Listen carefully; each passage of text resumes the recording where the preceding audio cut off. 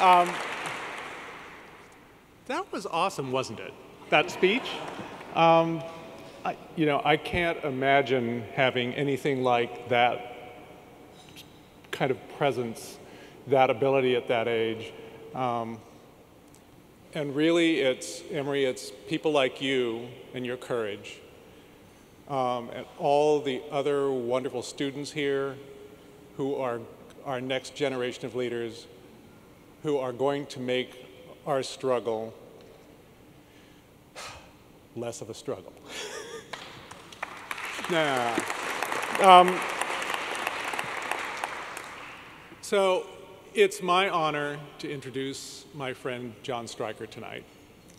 And we were talking beforehand because I was trying to figure out how long I've known Jon. And I was saying almost two decades, and we figured it out, and it's 17 years, so I feel younger already.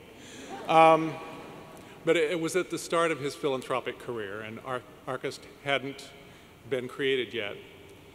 And that was an amazing thing to do, to express your commitment in a way, and not a small way. Because I remember back when I started getting involved in philanthropy, which was around the time of Amendment 2 and, and the Hawaii thing, when, when people that had money didn't give it away to LGBT causes. They gave it away, but not to our own community. And it has changed it has changed because of the commitment of people like Jon Stryker. Um, and we all owe him a great debt. And in fact, I think he is probably surprised by the things he's accomplished. And I think we would all be surprised by the things that he's accomplished that we may never know about. So Jon is getting the Visionary Award. And so I was thinking about what it means to be a visionary as I was preparing my remarks. And I decided that it could be expressed as negatives because of things that it is not.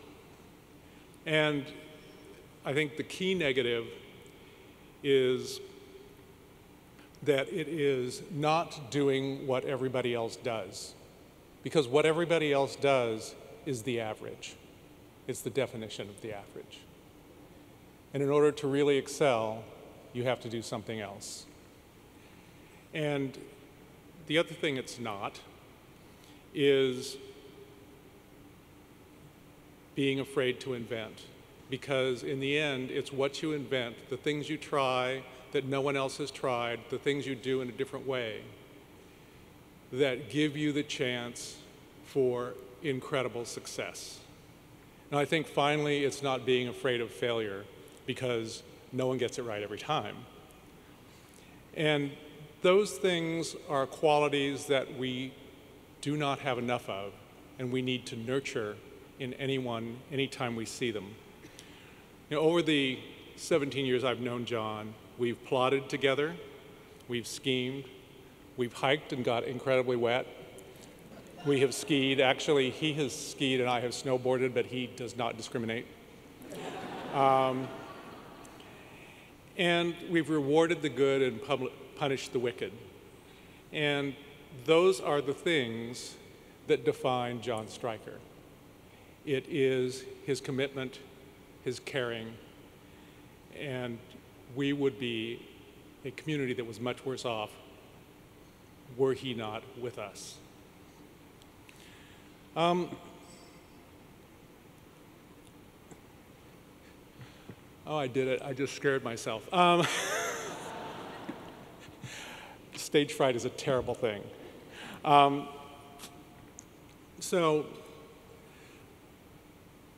Jon and his equally spectacular husband, Slow, have been our friends for a long, long time now. He's funny, he's irreverent. Um,